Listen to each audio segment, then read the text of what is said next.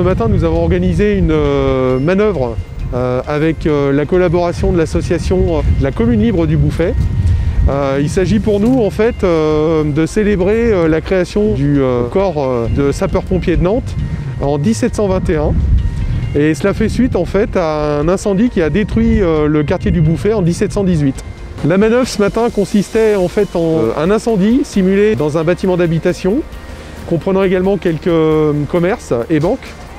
Euh, l'objectif euh, consistait à aller effectuer des sauvetages de personnes, tant dans les étages que dans les caves.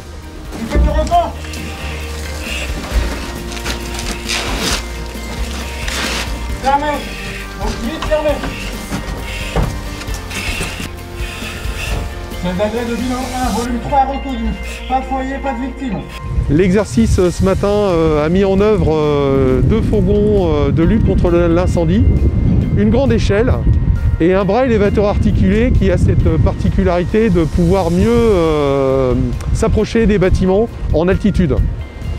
Au cours de l'exercice, le groupe d'incendie a effectué le sauvetage de plusieurs personnes dans les étages et a lutté contre un incendie qui s'était déclaré dans les caves du bâtiment et dont les fumées se propageaient dans les étages.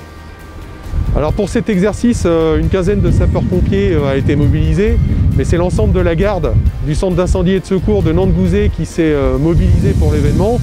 Et le centre d'incendie et de secours de Rezé a contribué également en mettant à disposition son bras élévateur articulé.